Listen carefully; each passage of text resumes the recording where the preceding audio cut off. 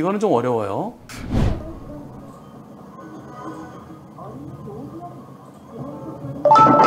헤헤.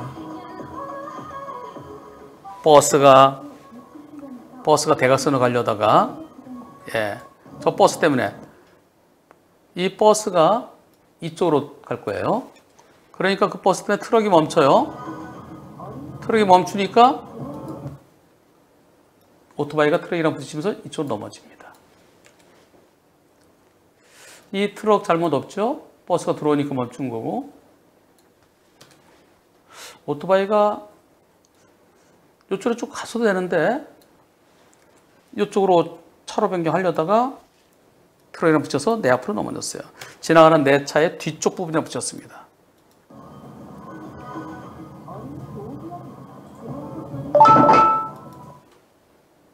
이번 사고.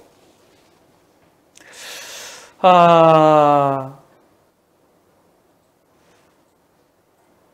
누가 잘못했나요? 한번 보죠. 1.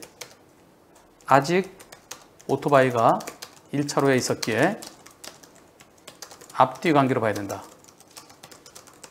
불박차가 가해 차량이다. 2. 오토바이가 오토바이는 똑바로 가야지 왜 넘어져? 오토바이가 가해 차량이다. 3. 둘 다 잘못했다. 반반. 오토바이가 왜 1차로 갔느냐? 네, 그것은 주행차로 위반은 과실에서 그렇게 문제되지 않습니다. 판사들이 주행차로 위반에 대해서, 지정차로 위반에 대해서는 과실을 5 내지 10% 잡을 때도 있고 안 잡을 때도 있어요. 여러분들은 오토바이가 왜 1차로 갔어? 잘못됐잖아. 그것은 무진장 크게 보시는데요. 법원에서는 빵에서 10% 사이에서 10%될 때도 있고 안 할 때도 있습니다. 네, 여러분들 불박차 가해 차량이다가 14%, 오토바이가 왜 넘어져? 54%, 둘 다 잘못했다가 32%. 경찰에서는 어떻게 했을까요? 경찰의 처리는 이렇게 했습니다. 경찰은 저를 가해 차량이라고 합니다. 그 이유는 앞뒤 관계로 보기 때문인 것 같습니다. 경찰에서는 제가 가해 차량이고 라고 하는데 저는 이해가 되지 않습니다.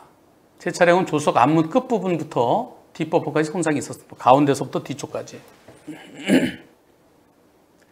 1차로는 1차로, 이른차는 1차로 주행이 안 되는 걸 알고 있는데 방향지도 낚였고요. 넘어지면 제 차를 박았는데 제가 제 차 옆으로 오토바이를 때렸다는 식으로 말을 하네요. 제가 앞부분을 붙인 것도 아닌데요. 트럭과 버스는 별개고 저랑 1대1 사고로 본다는데요. 변호사님 납득하면 깔끔하게 납득 가능한데 경찰은 저를 가해 차량으로 합니다. 아 이거 어려워요. 뭐가 어렵냐면요. 앞에 오토바이 가죠? 앞에 오토바이가 복잡해요. 오토바이 쪽으로 못 나가요. 그럼 불박차가 어 저 오토바이 못 나갈 텐데 그럼 내가 이 공간으로 내가 먼저 지나갈 수 있겠지? 오토바이 안 넘어지겠지? 라고 생각하면서 지나가다가 내가 때린 게 아니라 저 오토바이가 넘어졌어요. 왜 넘어져 오토바이가? 네가 도저히 안 되거든 이쪽으로 가서 갔으면 될 거 아니야? 오토바이 운전 미숙이다. 그렇게 보면은 오토바이 잘못이 더 큽니다. 그런데 또 다른 측면에서는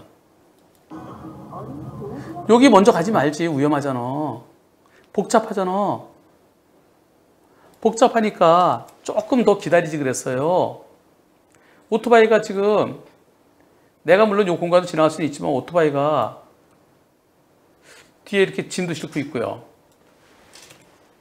복잡하니까 지나가지 말고 조금 더 오토바이가 안전한 곳까지 간 다음에 지나갔더라면 하는 측면에서 보면은 경찰에서 말하는 앞뒤 관계, 경찰에서 아마 앞뒤 관계로 보는 것 같아요. 그래서 불박차의 잘못을 크게 볼 수도 있습니다. 누가 더 잘못했다고 봐야 될지 좀 고민스럽네요.